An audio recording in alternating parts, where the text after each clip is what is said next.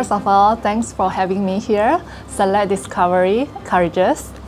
And yes, I'm a fashion model for more than 12 years and currently I'm handling Elpis Modeling Academy and agencies.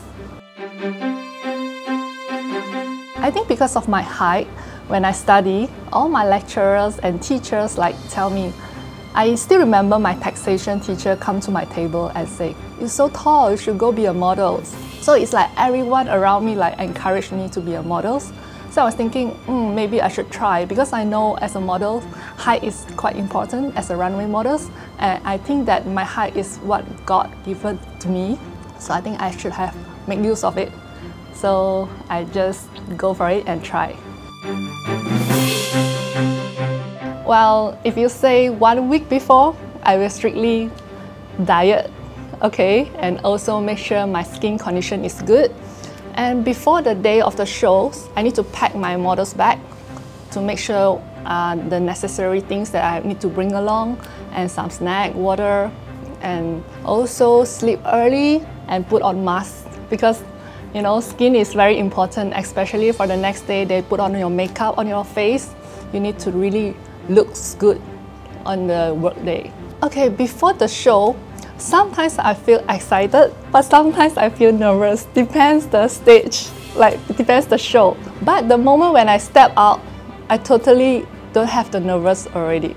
It's like, yeah, something you already uh, practice for so long and you just need to uh, remember that you are the most beautiful on stage and that is how you overcome your fears. I remember each time, every show I did, even though there's nobody give me feedback, I will still go and ask the audience or the friends who's sitting downstairs or agent or choreographer and ask, how is my performance? How is my catwalk? Like each time, every time. And then also I check on the videos and then tell them, well, where should I improve and what do you think about my walk? Then from their feedback, I, I, was, I will analyze it and then after, after that I will do some practice and improvements. Well, I actually gather all the instructors who are still actively in modeling and also they, they actually went for overseas like me.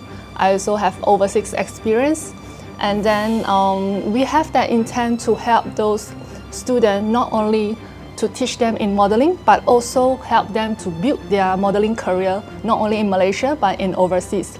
So sometimes the student, we personalize them, their style, their walk, catwalk. Not only that, we also are helping ladies who maybe not really want to be a models, but also they want to know how to walk good on the high heels. I feel like this is very important because when I was young, like 18 years old, I wanted to dress up like a adult and I want to wear on high heels, but I, I have no confidence on wearing it because nobody teach me. When I walk on the street, I also see students and also ladies who dress up very nice, but they couldn't really walk good on high heels. So I think that actually um, we need uh, someone to teach us how to wear on high heels, not because you want to be a model, but you want to walk elegant with the outfit that you are wearing.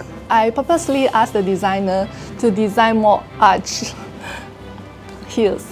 Because you know why? When I went to um, Milan, I remember during the casting, the designer gave me a pair of heels because in Malaysia, I used to wear platform, okay, which is more comfortable. But in overseas, those designer heels are no platform and very arch. And I realized it's not easy to walk. And then so when I come back to Malaysia and when I have a modeling academy, that is why I asked the designer, say I want the most challenging heels for my student to practice so that no matter uh, when they go out for work, the designer give any pair of shoes, they can handle it.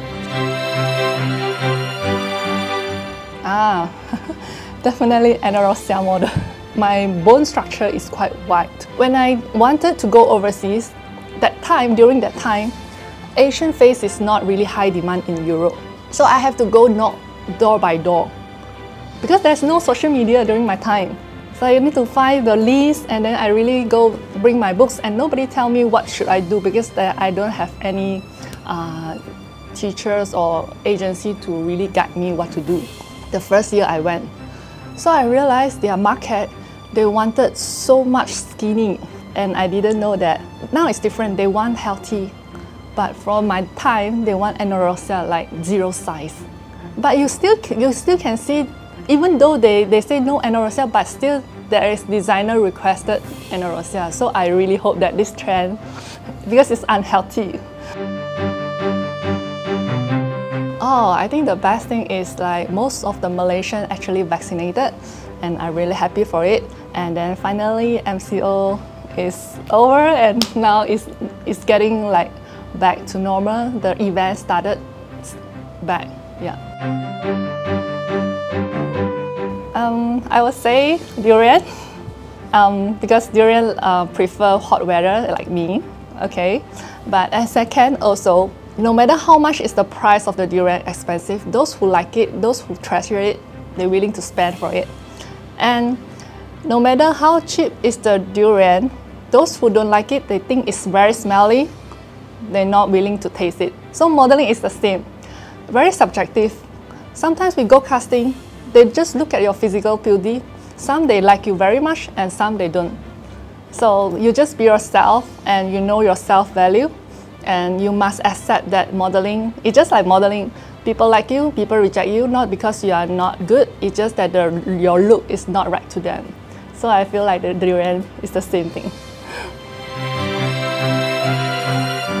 For the beginning stage of the modeling, the financial is not stable because as a model and there's not much opportunity when you start your modeling. So that is how you struggle your reality and dream jobs. Okay, but I'm glad I graduated in accounting. So for financial planning is very important in modeling. So that is quite challenging. And also, you know, modeling, sometimes you have peak season and low season. So during the peak season, wow, you are very like self-confidence because you have a lot of jobs. And then when low, then you feel doubt yourself like, are you really meant for this industry sometimes in the beginning?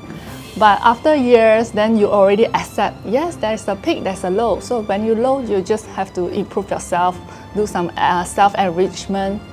So I think that's most challenging when you have to go through up and down, up and down, and also competitive industry and how you outstanding from others and because joy modeling is very easy, but to maintain the career for years is not easy.